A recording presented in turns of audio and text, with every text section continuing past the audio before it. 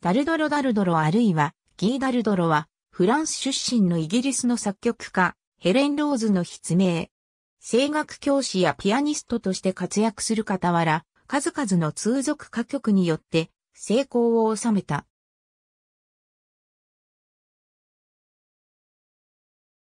実名はヘレン・ギー。イギリス人の父親とフランス人の母親のもとに、ブローニュ近郊のシャトーイコールダルドロに生まれる。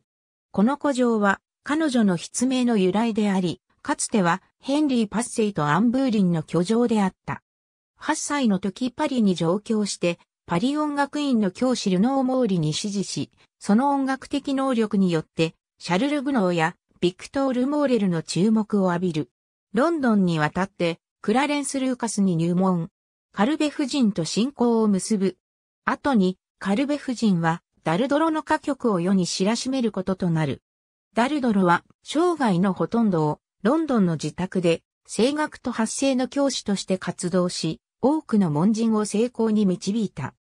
1896年には、カルベ夫人とアメリカ合衆国で演奏活動を行い、自作の歌曲、なぜならばによって成功を収め、エンリコ・カルーソーやリヒャルト・ターバー、メルバのレパートリーに彩りを添えた。だが、それまでにも、フランス語のロマンス、君なくて、サンズとはが、好意的に迎えられている。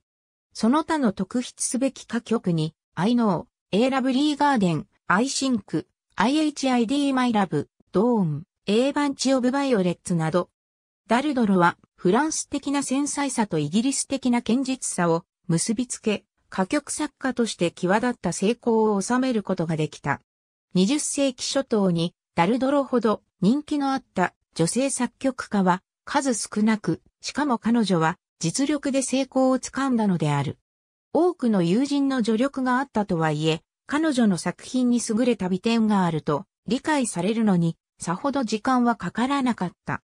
没後にその名声が忘れられようとしたものの、1947年の末にペリー・コモがビコーズを録音し、翌春に大ヒットしたことによって、その後もたびたび録音される曲になった。Because はこれまでに以下のミュージシャンにカバーされている。ありがとうございます。